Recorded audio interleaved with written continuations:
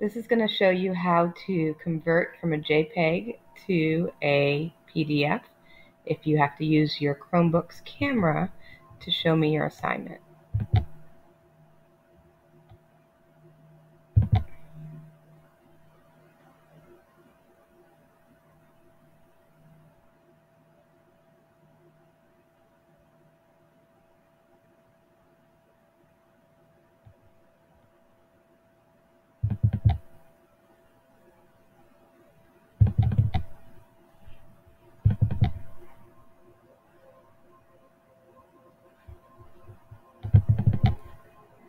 You'll want to rename with the date, your last name, and what the assignment is.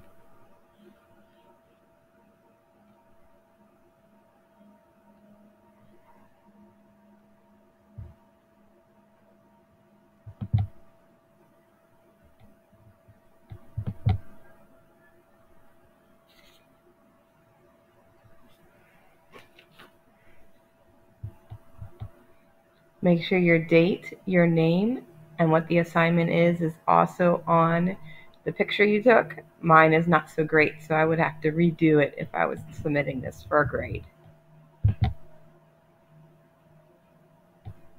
And once you've downloaded as a PDF, then it is ready to be uploaded to Canvas.